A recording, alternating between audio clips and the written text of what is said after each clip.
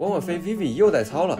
近日，刘畊宏老婆王婉菲在微博冲上热搜第一，让刘畊宏感到自己的地位被动摇了。现如今，Vivi 果然越来越自信，在镜头前更加放得开，甚至连健身的动作都更加标准了。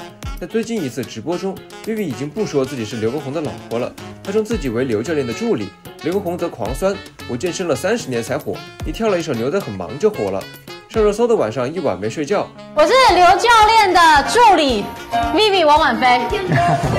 最后，刘畊宏又让 Vivi 带大家跳操，Vivi 二话没说，立马站上前来，又引得老公直吐槽。现在我随便问他都说好。你看，现在我随便问他就说好。真正跳起来的时候，看得出 Vivi 和平时不一样了，每个动作都非常标准，而且记得很牢，没有出现任何卡壳的情况。